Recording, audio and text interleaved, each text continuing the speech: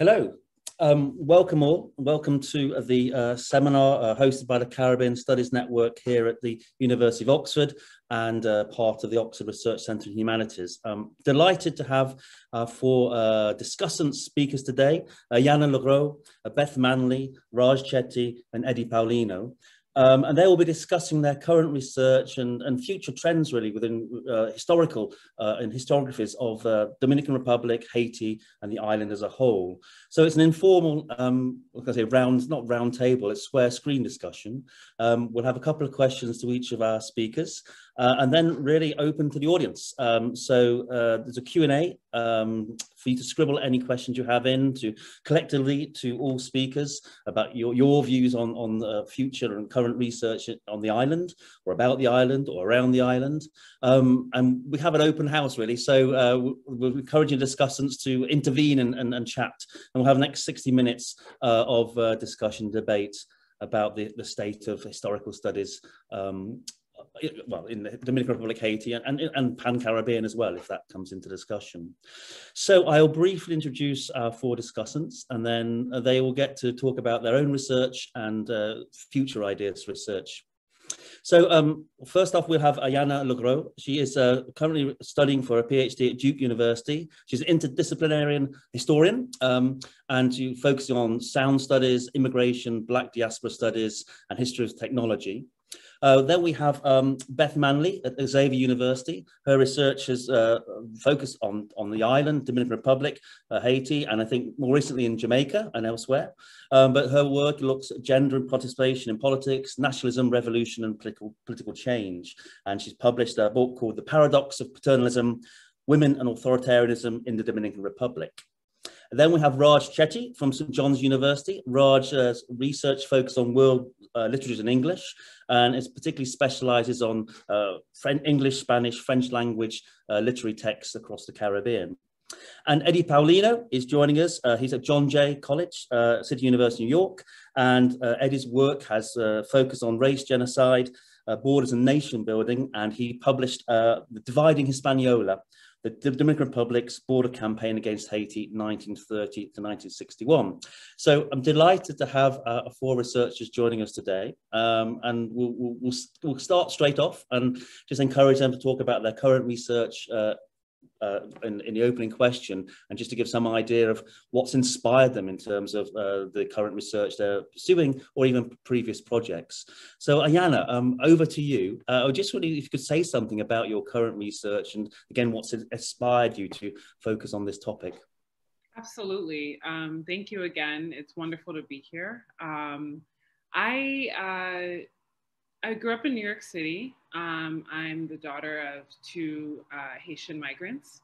Um, and my work and interest in Haiti, um, like many in the diaspora, um, really catapulted after the earthquake in 2010 um, because I was really just, just trying to figure out um, how ideas about Haiti were formulated. Um, and at that time, I was also interested in researching um, Black identity and history in Colombia.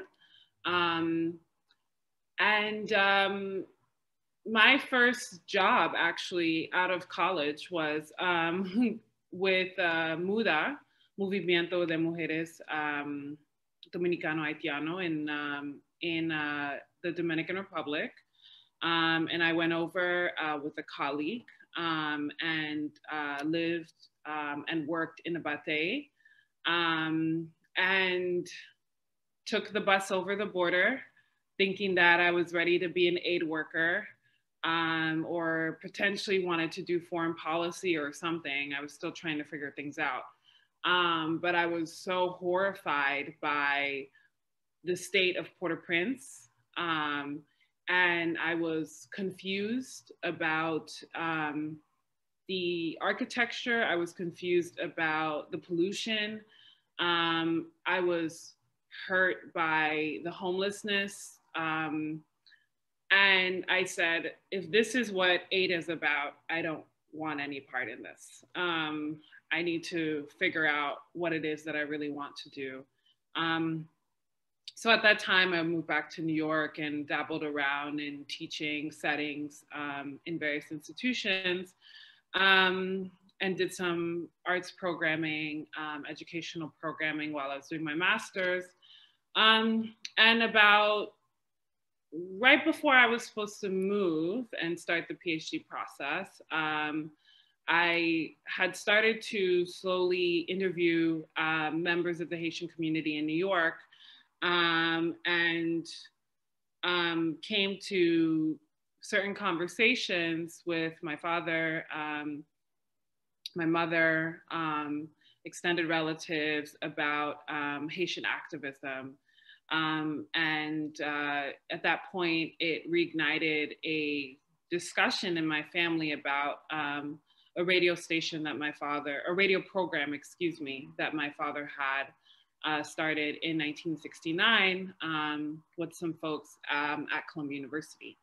Um, I was really, I became very curious about radio um, and the ways in which it um, serves uh, a, a, strong presence in migrant communities um, and the ways in which it became a, a, space for Haitians that were living in New York to, you know, engage with people that were in Canada, Miami, France to discuss politics, but also became become a, basically a space for social services um, during the, the, the refugee crisis.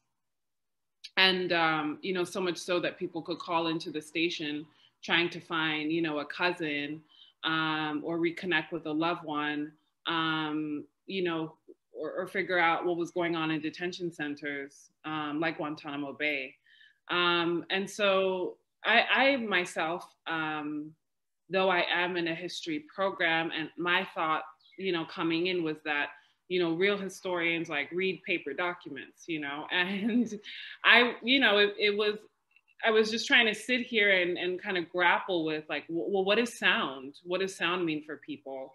Um, and how do people coming from traditionally oral societies, um, you know, really tell stories and, and use technology like radio in order to, um, in order to express and live their lives and thoughts about um, freedom and a new society. Um, so I'll pause there and uh, pass the mic to Beth.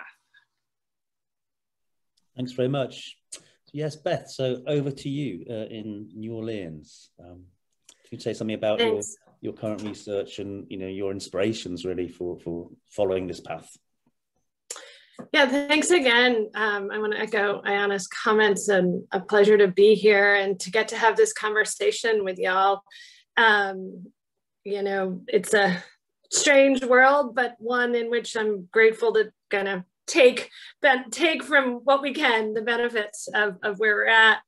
Um, I began my work in, in the Dominican Republic in the early 2000s, um, and I had absolutely no connection uh, to the island, to the country. I didn't exactly know what I was stepping into at all, um, but I knew that I wanted to do historical research, and I'd become fascinated with the island as an undergraduate um, through some you know fabulous instructors that just had drawn my attention to the place. And um, and so I I kind of started to do some archival research and became fascinated by what seemed to me to be sort of a paradox of contemporary politics in which you saw women at high levels, or at least in comparison to the US, a lot higher levels in the political structure, um, and yet some very traditional ideas about maternalism and paternalism within um, everyday quotidian social structures. And for me,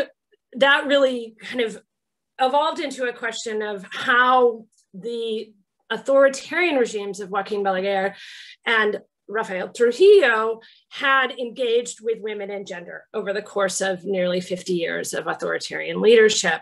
And I, I spent the next 10, 15 years sort of digging into that question, first in my um, PhD dissertation and then later in the book that um, was published a couple years ago, The Paradox of Paternalism. Um, and I think for me, it was really, really important to kind of try to understand the ways in which women had become engaged in the political process. I mean, one of the first things that I found in my archival searching. I was looking into this um, this nonprofit, and Ayanna, I, I echo your thoughts about right aid work. I was looking into this organization called CARE that was trying to provide school lunches in the 60s, um, and and one of the most fascinating things that I found were these mothers writing from small towns in the middle of the country saying, We know that this program is here um, why isn't at it at our school? Why aren't our children a, a part of this, right? And that level of political awareness, both to kind of be aware of what was going on and that, and that this program was happening in other places, but to know how to write to the government and to government officials to say, we are deserving of this also, right? Um, was really compelling to me. And so I wanted to to understand and to dig deeper into the ways in which women became part of the political process from sort of the beginnings of the 20th century. And, and that story has really, really deep roots that I think we still are working to fully uncover. Um, and, and trying to understand even going back to the occupation and, and the ways in which women were crucial in pushing back against US military occupation in the early part of the 20th century and, and through the dictatorships. Um, and I've remained focused. That that question is still right where we find women in the archives and and the ways in which we can tell their stories that haven't been told before remains a really important question to me. But my my the project I'm working on now developed out of some kind of tangential questions that I had while I was doing my research for the first book. Um, I became both fascinated and, and somewhat disgusted by the practice of sex tourism and particularly um, women's sex tourism, women that traveled to the island. Um, specifically or sort of accidentally, if you will, for liaisons with local men. Um, and I was sort of wanting to understand what it was that made the island and ultimately the entire region a place in which this was a possibility, right? That global North women could see this as a space of possibility for their, you know, romantic, if you will, liaisons. Um, and so I started to kind of think about that on the side. And it wasn't until, you know, after the first book came out that I was able to say, is this, you know, sort of worth looking into? Is this a project that I that I can engage with? And for me, what it did, it gave me the opportunity to think across a pan at, at a kind of pan Caribbean level. Because one of the things I realized as I was thinking through this practice of women's sex tourism is that it it repeats itself across the islands and in very similar ways, right? If you look at Jamaica, if you uh, look at um, the Bahamas, if you look at in Haiti, you see similar tropes of the men that are part of this economy and, and the way in which they present quote unquote services, right, as well as the women and their expectations as they travel. And I wanted to understand that better, but I was certainly not an anthropologist or sociologist by that point i'd been very well trained as an art you know archival historian. And so i went back to the kind of methods of my first project which is to say let's look at the roots of this. Um, and Mimi Sheller's Consuming the Caribbean was a major touchstone for me in this, and the way that her kind of work in mobility studies, not just in that book, but in in all of her work, um, was was a really important way to start framing this and to think across the Caribbean, which I think is a, an important trend that all of our work does here, right? Across borders, across linguistic barriers. Um, and the fact that the Caribbean has always been this place of, of flux and movement. And so those kinds of ideas about mobility studies really resonate in the Caribbean. Um, but when I started looking into tourism, what I found is while there was a lot of work in literary studies and and anthropology and sociology, uh, the work that is Pan Caribbean on tourism historically is fairly limited. And I really wanted to kind of dig into that and still remain attentive to that original question about women's sex tourism. And so I started digging in the archives um, simply looking for women, gender, and tourism and trying to figure out sort of what was coming up. And what I started finding um, in the Dominican Republic, in Puerto Rico, in Jamaica, um, is that women were major protagonists. They weren't the heads of the ministries of tourism, but they were everywhere else across this story of tourism development. And specifically in the process of creating the Caribbean as this kind of Edenic fantasy place of escape, which I think is crucial in that question of how global North women can envision this a place of consumption, right? And so what this new project is is trying to do it's it's tentatively titled imagining the tropics is to look across the entire region and not just find women in the production of tourism, both global north and Caribbean women, but to understand the ways in which gender and race are imbricated in the process of constructing that image of Carib of, of fantasy vacation, right? That allows for not just the kinds of consumption of sex tourism, but all other, all sorts of other kinds of consumption um, that that help us understand the very extractive nature of this industry. And I think it pulls, it is an industry, we understand it as, as Pan-Caribbean, but we don't always interrogate it as such. And I think this gives the opportunity to do this in a, in a small way, to kind of make those linkages and to think about the issues of, of race and sex and gender kind of in interconnected ways. So that's what I'm working on now. And I'm excited to hear what the rest of y'all are working on. Thanks very much, Beth. Um, Raj, over to you about your current or previous research and inspirations, I think. So over to you, I think, in Long Island, probably. Yes. Yeah, yeah, Maybe. from my home in Long Island. And um, again, grateful. Thanks to Torch, David, for the invitation. And it's great to be with all of you You're, as friends and colleagues in some sort of same field. This is a really wonderful opportunity. Um, so, uh, so maybe I'll start with, I, I, tell this anecdote sometimes about how, how I ended up thinking about what I focus on in terms of the Dominican Republic, on race and blackness specifically, um, as sort of like the line of inquiry, like what is blackness and how is it working?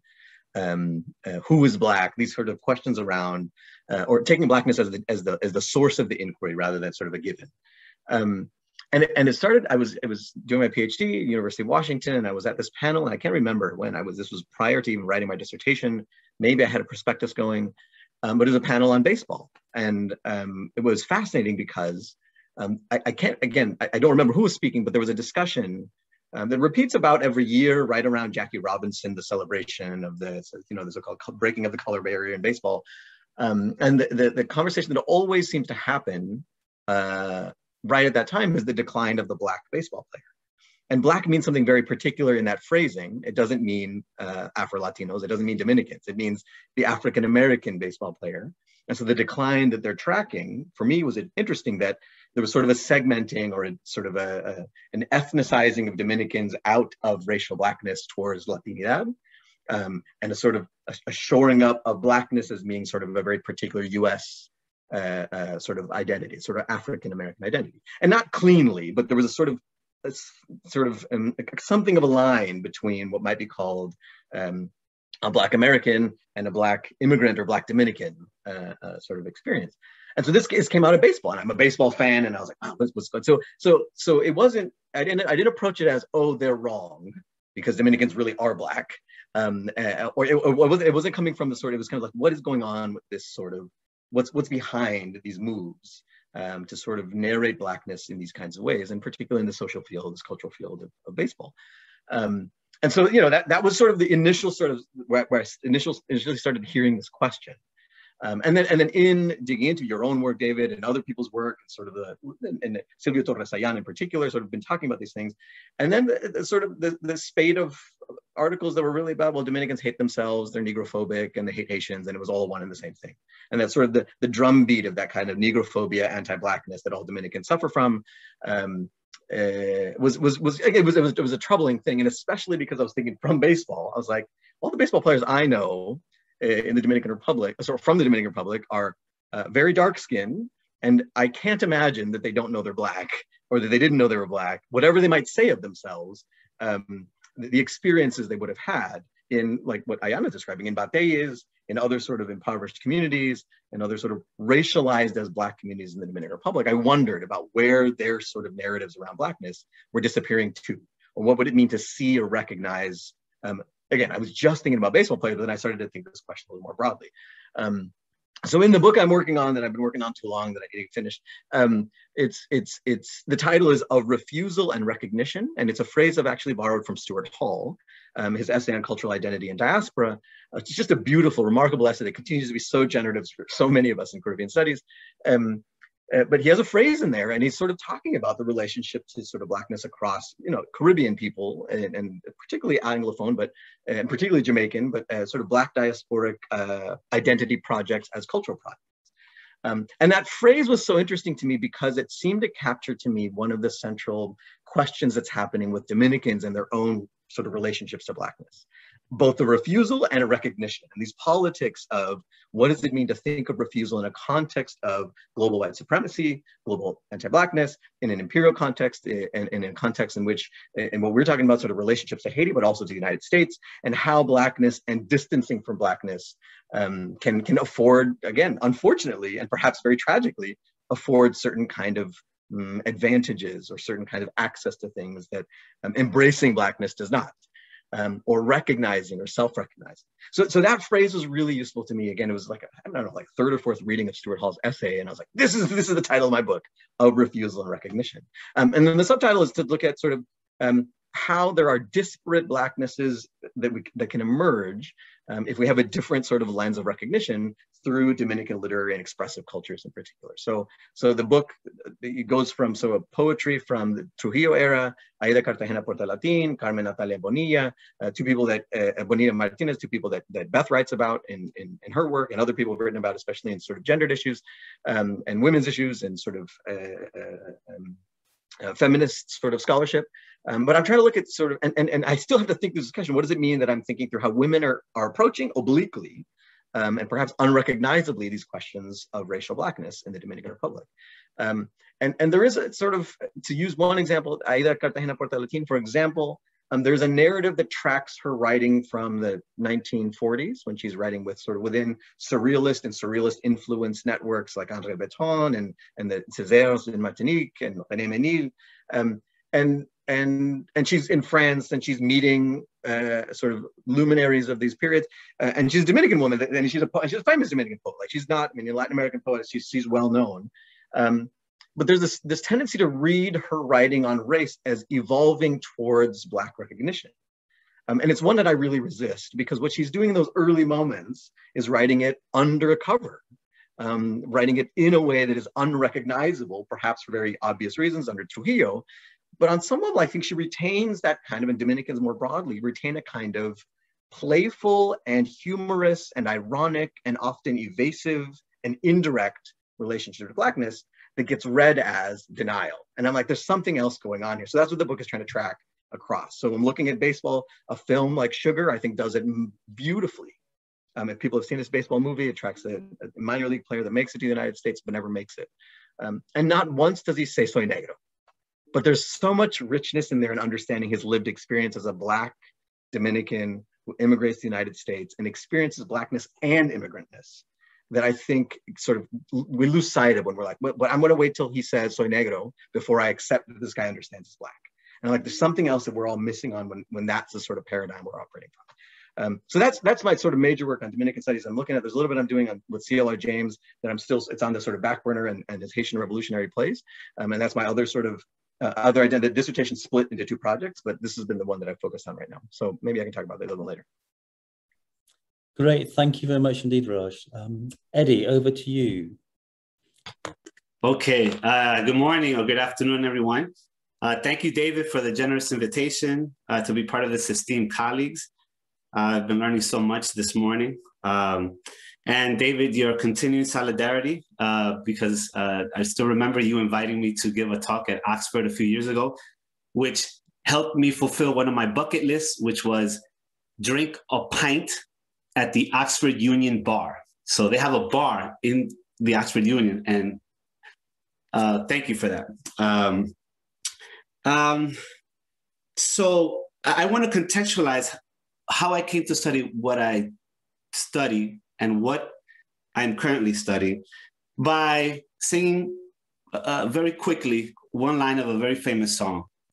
Uh, I don't know if you guys remember, especially in the UK. Come a, come a, come a, come a, come a, chameleon. You come and go. You come and go. This is what I grew up with, right?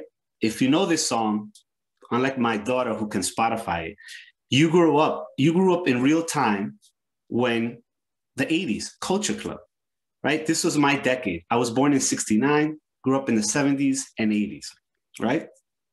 Culture Club, that's right, Boy George.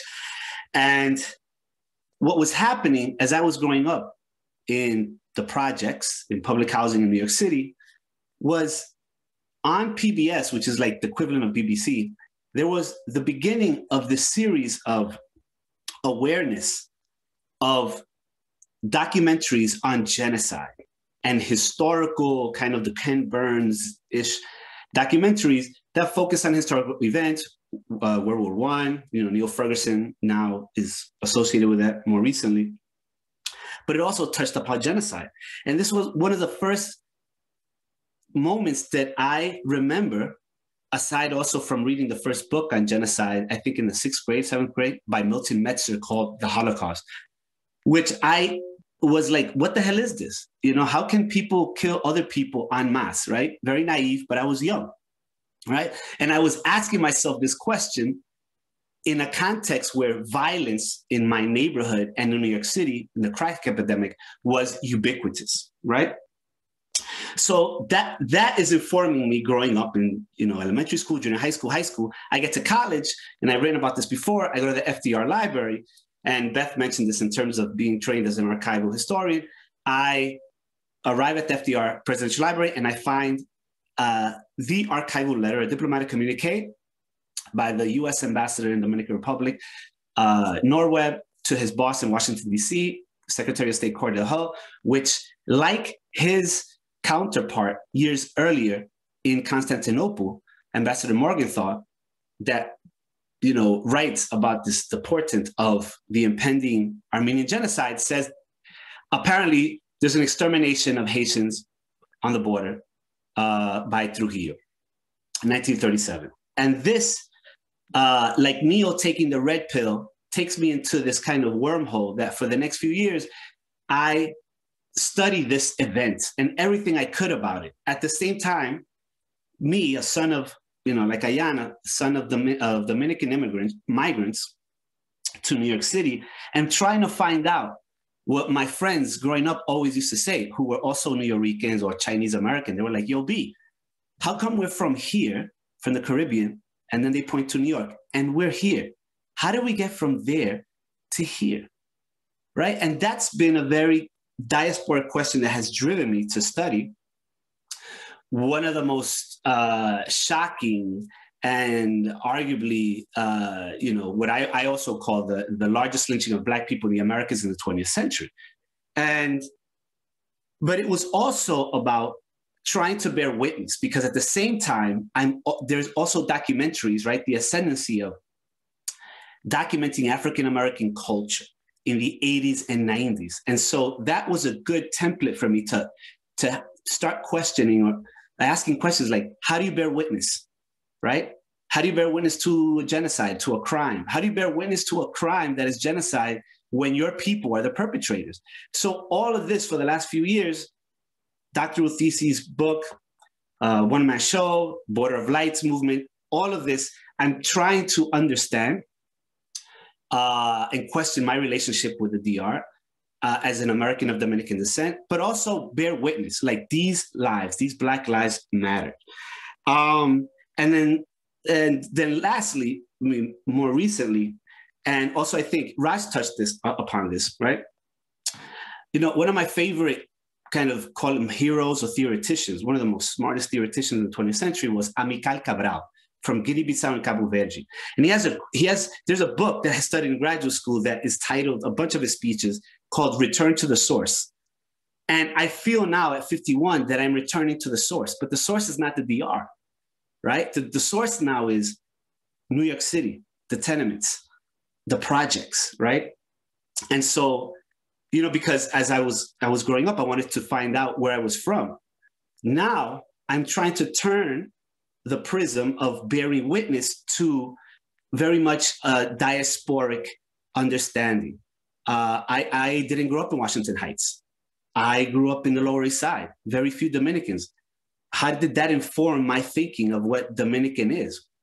And so, what I'm working on now is uh, two things. One is um, right where US and Dominican history interject. It's a kind of an archival uh, history. Um, and also getting to this point of what Raj was saying, it's like, you know, may the real African American, quote unquote, or Caribbean American stand up. And I just got this thing on, on, on YouTube the other day, and I saw Farrakhan, and I said, his name is like Walcott or something like that. And I'm like, hmm, let me check. And what does Wikipedia say? Caribbean. He's Caribbean, right? So I, I really, I, really love that uh, what Roger's getting at. So I'm trying to understand, uh, you know, when really it's um, moments in where uh, in American history uh, where the where meets Dominican history. Um, and the other thing is documenting how people in my public housing, because we're the closest to 9 11, how they experienced 9 11. And there are some Dominicans there. So, and I think it's important because when you talk about 9 11, there's, you know, where are the Dominican voices, right? Where are the Chinese American voices, right? My neighbors, the Nuyorican, they're not there. So I'm trying to get to, I think what Raj eloquently talked about, right? And also in part, Ayanna and Elizabeth, um, this kind of circum-Caribbean through gender to class to race, but through specific examples of um, the lived experience. And this would mean some archival research at uh, the Public Housing Museum at the LaGuardia Archives in Queens, but also ethnographic research, interviewing my mother, my sister, uh, my neighbors who I remember in 9 11 coming back to the apartments and getting, trying to find a comb or a toothbrush so they could use their DNA to identify a loved one that was missing. So that's where I am now, and uh, I look forward to your questions. Thanks very much, Eddie. Um, the idea was to get some idea of the context for your, you know, why you're doing your research and the real rich depth of, of personal and collective histories. Um, so thanks very much for starting us off. Um, for th those in the audience, do uh, do write any questions or comments in the Q and A. Um, I'll ask another question to to our discussants, and then we'll go over to a sort of a group discussion um, with with the audience. So do scribble any queries you have. We've, we've covered a range of of um, perspectives and contexts already. I mean, Eddie mentioned the 1980s, and I'll, I'll, I'll drag us forward to the 1990s, where whereby I think if you wanted to sort of um, get a grip of Dominican and to some, to some extent Haitian history, you could go to a Trinitaria um, bookshop in Santo Domingo, and not only could you see most of the tomes of historical studies written, but also over a course of a PhD, you could probably read them all. Um, and there's been a, a, a, fantastic and bountiful, if you say, increase, explosion, uh, fruition of uh, historical studies about the island and its societies over the last decade or so. And that's why, you know, we've invited these discussions here because they're very much part and parcel of that sort of, don't say new wave, but definitely a, a um, an exciting growth and trying in understanding and exploring the island's histories uh, and written or performed histories. So I just will go around the table again or around the screen and just ask you individually, um, where do you see uh, your research going, um, if you want to add more, or where do you think the major challenges or un unexpected, if you will, areas of, uh, of uh, research are going to find us in uh, five years' time or over the next decade or so? What, what are the untapped sources of knowledge to discover? So Ayanna, um, over to you. Yeah, that's a really good question. Um, well, I mean, I think that there's going to be um, an increased amount of, I mean, it's already happening, but an increased amount of scholarship on Michel-Rolph Trouillot. Um, I watched, and uh, maybe some of you all, actually, we didn't talk about this, but uh, the new um, series on HBO Max, Exterminate the Brutes. Um, I really love that work because it connects um, the story of, I mean, we all kind of in some way have touched upon the personal. Um, and, um, you know, directors typically kind of hide behind the camera. And it takes a lot to do your family history and to think like critically about your story. Um, I don't shy away in, in expressing like the times where it gets overwhelming. Um, um, something I've become more acclimated to. Um, but I think I, I really like, I want to get to the point where every like scholar knows Michel-Rolph Trouillot's name. like, I just think he's so, like silencing the past is the work that I come to over and over and over again. And every time I'm like, whoa, whoa, you know? Um, and and I think in terms of thinking about Haitian society, it's it's going to be the text that needs to be, you know, translated in as many languages as possible. Um, for me, uh, specifically, really highlighting the importance of radio in Haitian society um, and discussing how much, I mean, not just the history of the medium, and people have done this scholarship discussing the ways in which it's connected to the US occupation in 1915 and the arrival of shortwave radio and things like that. But um, for me, it's such a critical part of political history. I don't, what I'm fearful of is I don't know what my project is going to do. Like, uh, I have things that I need to talk about with respect to posters, with respect to film, with respect to recordings, with respect to letters that people are writing to stations and programs. Um, but I think something that I'm specifically really interested in, and this is one thing that I really appreciated when I read um, Paulino's book, um, is thinking about the role of the church, which we're obviously once again seeing with respect to the kidnappings that are taking place in Haiti. Um, the situation is horrific. Um, and, um, but I think it's also important to recognize what the US's relationship is to the island. Um, and um, the continued traumas that are coming out. And so I'm excited to see.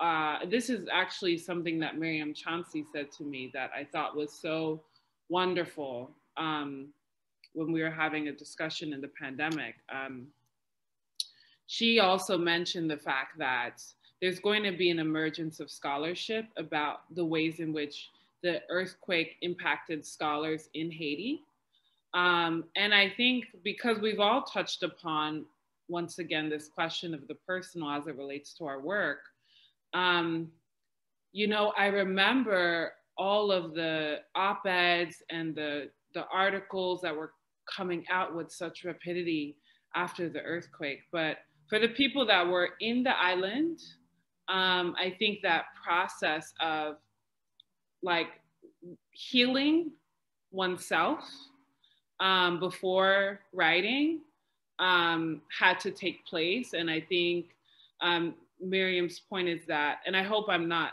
misconstruing her words, um, but my understanding of the comments is that we will see voices from the island emerge more and more about that experience. Um, but I, I, and, and also a, a, a growth of scholarship on feminicide, you know, and really talking about what does it mean that a four-year-old girl in Haiti is, is being strangled and found on the street? Um, and people are being asked for ransom. And so it, it's not, this is, it's, it's such a, a tragedy and, um,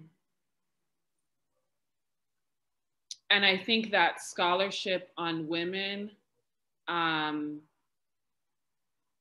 is is just going to have to continue to increase. Um, there's just so much work to be done. Um, so I'll stop there.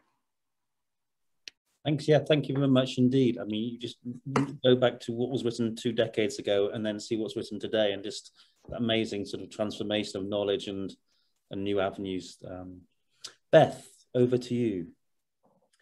Um, well, at first, I want to echo Ayanna your your point about Trouillot. Um, it was in my notes that was a thing I wanted to talk about. And I teach silencing the past to my sophomore undergraduates at a historically black university, and they complain all the way through it because it is theoretically challenging to them. No one has asked them to take this on, and almost to a one after the class, they say that changed the way I think about history. And, and in general, some of them say that as well. And so, I mean, I encourage others to teach it at that undergraduate, at that entry level. But I also think, you know, it really is an important touchstone in informing our work as it moves forward. And I think there's so much to talk about in terms of new directions and, and where Hispan Hispaniola studies goes. And a lot of it has to do with this really incredible growth um, that has happened in the past 20 years. And um, I had the amazing opportunity to kind of write a little bit about that historiography and what has happened, um, at least historically, for the most recent issue of Kalfou, which was um, a special issue devoted to the work of Lorgia Garcia Peña. Um, and, and so in some ways I could kind of go on and on about that, but I wanted to point to just two very specific places that I think we really need to be paying attention um, and to continue to push. Um, when I first started in graduate school in the early 2000s, I had to fight tooth and nail to be allowed to study the Dominican Republic um, because it was considered marginal, less than important. Um, I was strictly forbidden to do what I had wanted to do, which was to look at both Haiti and the Dominican Republic, um, because somehow those li linguistic boundaries or board artificial borders were were not crossable in a, in a scholarly sense. And i think that that is beginning to change. Um, but i don't think it has completely changed. And i think we can really look to the tenure denial of Lorgia Garcia Peña at Harvard to see that, you know, it continues to be the case that studying the Dominican Republic Haiti or its diaspora is uh, easily enough discarded as not rigorous in service to a larger racist or misogynist agenda, but nonetheless discussed in that way um, that we must continue to push against that narrative and say that these stories and, and histories and pasts and presents continue to matter um, and that the island as as april mays likes to say is the center of the universe right and when i was working on that article for Kalfou i came upon at least half a dozen different ways that scholars um, scholars that we are in conversation with have said that, right? Lodestar, crossroads, umbilical cord, navel, crucible, right?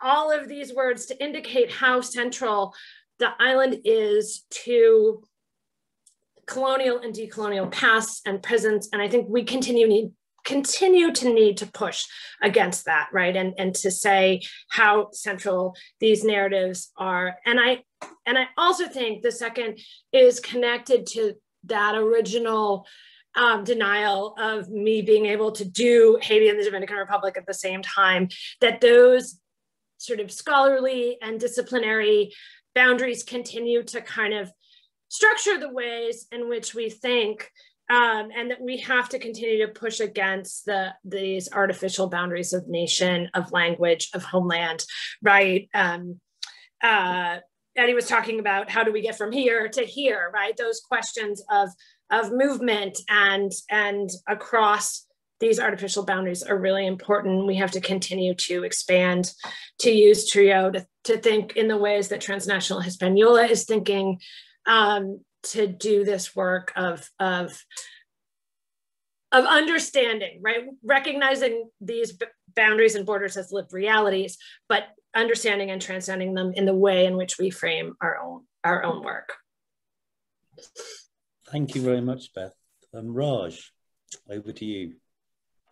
Yeah, thanks, uh, uh, Ayanna and Beth. Both of your sort of remarks, like uh, so it had me thinking in multiple directions and and and the, the text that in addition to silencing the past um, which is again when i read it as a grad student i didn't have the fortune of reading it as an undergrad but i'm sure it would have shaken me in really important ways too but as a grad student it, it's just sort of the mind-blowing nature that he's both talking about the way the haitian revolution gets silenced and historiographical process inherently is a silencing activity, right? So he's not just saying that Haiti gets silenced or the revolution gets silenced, but that even in telling the Haitian revolutionary story, you're going to get this sort of that, that, chapter on, on Sanssouci, I think, right? That where there's there starts there's within the narrating of the Haitian Revolution, there are stories that are going to fall out, and and sort of that that sort of dynamic is not one that says, oh, if we only told the story of Haiti better, um, he's, he's saying no the very telling is kind of and this is sort of it was like a remarkable and remarkably theoretically rich um, and and for for us in academia sort of humbling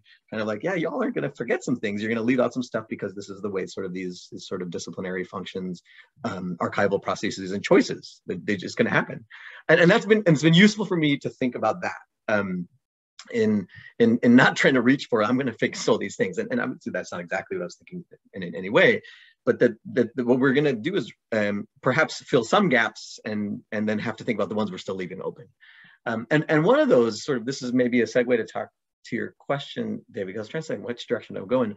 That um, in, in an essay I, I, submitted and and the reviewer it was it was it's it's from a part of the the, the book manuscript I'm working on um, and it was on uh, Calife, the, the, Dominican carnival figure that sort of has mirrors and echoes in other carnival practices across the Caribbean. Um, and, and also looks like blackface, right? So it's, it's this really, really sort of vexed carnival-esque figure, right? Um, black people painting themselves black, what do you do with that? And it's not as simple as blackface in a US tradition or even in a teatro, uh, teatro bufo tradition in Cuba. Um, but it's also not delinkable from that or de-articulated from that. Um, and so, so the, the, the thing that I'm, the, the feedback I got on that essay before I revised submitted was, um, how come you're not situating this in the wider Caribbean? And I was like, God damn. Because, because in my in my larger book project, the theorists that are coming in are C.L.R. James and Sylvia Wynter and Frantz Fanon um, and Stuart Hall, as I mentioned earlier. I, I'm intentionally drawing from Caribbean theorists who have sort of been uh, sort of these interdisciplinary, amazing scholars that are starting to get a lot more play now in certain ways that are great and in certain ways that might not be as great because they're getting divorced, divorced and delinked from the Caribbean. So studies of Sylvia Wynter are forgetting that she's Jamaican in some really sort of problematic ways. Um, and and and so so thinking about Dominican Republic, Haiti as Caribbean sites. So there's there's like to what Beth was saying there's there's a provincializing by sort of a, a top down well the dominican is a small place and the dominican haiti can't really do it together because language and and and and one way to respond to this is situated within sort of global histories and i think that's a very appropriate thing. One part of me is like i, I also want to almost like pull it back a little bit to say like let's look at it within a caribbean or maybe atlantic um, frame which is not not global. It's like i don't want to make that distinction too strong. Um, but to think across, I mean, we again, that's work and it's your current work is thinking across the sort of Pan Caribbean, um, and and things that I think about that I'm like, I wish I could speak Papiamento in Dutch, um, because the Dominicans they're ending up in places like Curacao, um, and then from there, perhaps ending up in Netherlands. In some cases, it's sex work, and so we have sort of gendered and sex work stuff. But then, and, and there, there are some people writing about this stuff, but it's small numbers. And so that sense of the Pan Caribbean, in terms of the, the when we even choose to do Pan Caribbean, who are we leaving out? It's almost always the Dutch Caribbean for those of us who are Pan Caribbeanists, even in spirit and in, in, in sort of principle. Um, uh, and and and that that sense of the Dominican Republic and Haiti as uh, sort of broader net nodes and very central nodes in a, in a sort of a Caribbean history, history and historiography. Um, and in the Haitian context, and, and I'm, I'm really indebted in, in, in strong ways to um, Haitianist scholars like Natalie Leger. I've heard say this in, uh, she teaches at Queens, Queens College um, uh, here, here in New York. And, um, and said, you know, oftentimes um, we invoke Haiti without studying it. So as an example, C.L.R. James is writing the Haitian Revolutionary play. And for many of us, those of us who are interested in C.L.R. James stuff, we're not exactly talking about Haiti. We're talking about the play about the Haitian Revolution that does important work in Black diasporic and anti-colonial and, and sort of African decolonial efforts. Um, but, but how to think Haiti back into itself and not just sort of being kind of a symbol that gets evoked in, in that in that other Trouillot essay, uh, the odd and the ordinary, right? It gets exceptionalized as both the poorest and the most remarkable without ever sort of engaging with very sort of contemporary and longer historical stuff. And it's, it's um, so, so the two people I, I wanted to mention, sort of is, is doing this sort of important cross-island stuff and Eller's recent work in We Dream Together is brilliant. Um, and someone whose work I wish was translated into English more, Jean-Marie Theodat, uh, the Haitian cultural geographer, um, who writes in Spanish and writes in French, and I'm not sure how much he writes in Creole. Um, but his work, again, just thinking about island geographies and the sort of three island geographies, just sort of a, a reorienting how I would think of what the island means as a multi multi-island space. Anyway, that's I've talked way too long. Thank you very much indeed, Raj. I mean, yes, the number of people could invite it. It was, it, we could have had. I mean, basically that's what last from the Haiti and the DR focus well, group does. That I know that um, you've all been involved in. So, but yes, there's the number of scholars you're mentioning just proves the the richness and the um, yeah, all the work that's going on. Eddie, over to you. Yes. Uh, wow. Great, great, great conversation. Yes. I mean, there's so many scholars you know, like um, she just came out with a book. Uh, help me out. She's at the University of, of Houston. Rachel, is it Rachel? Rachel Quinn. Rachel Quinn. Rachel Quinn. She's just coming. She's just coming out with a book. She just got tenure. Right. There's Anne Eller. There's Lisa Ramirez. There's right. Beth Manley's here. Lorgia Garcia. Quisqueya Lora. April Mays. Brighton Thorne. There's so many, and many of them also are female. And that sensibility, right, that a lot of us, you know, kind of heteronormative guys that would have missed, right, or even reproduce they're getting at that. And i think they are also at the at the in the vanguard of what's what's to study. Um also raj you know he's humble he doesn't want to say but raj i want to remind everyone about raj uh raj's collaboration also with Amaury in the black scholar. Uh that's amazing with sophie Mariñez too uh, another scholar. Uh those are where i think a lot of the topics can be going. Um uh, also Esendom, uh, has uh, an Amaury again. Uh, you can text us later, email us. Uh, he has an. Uh, they have entries, like five entries, and each entry has ten to twelve research projects to think about, right? Such as, um, you know, uh, women in the revolution in '65, LGBTQ histories in urban life in Santo Domingo, right? Really things outside the box. Pan Caribbean, Pan Haitian, Dominican relations through literature. And you have all these writers in the 20th century, originals, um, getting together and conspiring. And so that's that's powerful, right? Again, going to this, I think, yes, we all agree Trouillot's book should, is on everybody's desk, uh, right next to the most recent, you know, volume of the Chicago Manual of Style. Um, the other thing is, um, how do we define scholarship, right? Where does this new scholarship come from? Is it, you know, theses and dissertations? And I think we're in here in a kind of academic setting, but I, obviously I know we agree that the scholarship will come also beyond uh, the traditional confines of academia. And I just thought about recently this guy, he's African American, he's a professor who um, submitted an album a rap album, peer reviewed rap album at the University of Virginia as a professor, right? So the, we need to start thinking also like, how do we intersect, overlap, and go beyond while still tethered to this academic setting, which, you know, academia for all its issues, right, it still matters, right, in many ways. Yes, I agree with Ayanna, right? Femicides on both sides of the border, right? Uh, which is outstanding, right? You, everyone talks about the Taliban and Afghanistan. I'm not comparing, but I'm just saying when it comes to um, attacks on the female body, going to Beth's point, right? It's like, huh? Uh, what? Femicide? Uh, no, I'm going to Punta Cana, right? Uh, right? And here are scholars like Beth say, hello, you know, this has been going on, right? And also giving agency to female voices, which is very important. Um, and uh, new research, for example, um, you know, biographies. Peña Gomez, vice president of the Socialist International. He hung out with Chirac. You know, I would love to see a chapter when Peña Gomez is sitting down. What's the conversation with Chirac, right? In the 70s and the 80s, right? All these French leaders, what are they talking about? What are they eating? What does Peña Gomez order, right? do they do a little mangú for him, right? At a French hospitality? Probably not, because the French are like, this is our food and, you know, we are the best. You know, who knows, right? But things like that, that really, you know, get to, you know, these flavors that connect the local and the international. Um, also, in terms of new new topics, um, I saw a talk years ago by Dr. Samuel Martinez at the University of Connecticut and Bridget Wooding, uh, who works in the DR, about biopolitics and using Foucault to talk about what they were very presciently uh, arguing for that, hey, you're going to see the Dominican state um, enter and become more of a surveillance society, right? The surveillance industrial complex by kind of fencing up and putting all these barbed wires like the US border against Mexico along the US Haiti border. And that is actually happening in the last few years, right? So, how do you talk about race, surveillance, control, citizenship, which will disproportionately affect Haitian migrants?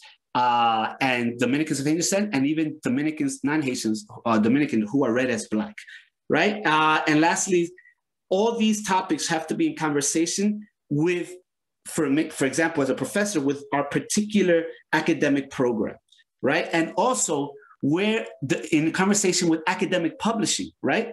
Um, I, I have been teaching for nearly 20 years at CUNY in an undergraduate program. I have no doctoral students. I just teach undergraduate students, many transfer students from community college, and if they be, and, many want to become law enforcement, right? But it's the first time, like right, like Beth and Rod says, right, and Ayanna, that where they see silence in the past and they you get provoked. And maybe i get it's a win when somebody says you know i want to do a master's in history rather than you know going to law enforcement right?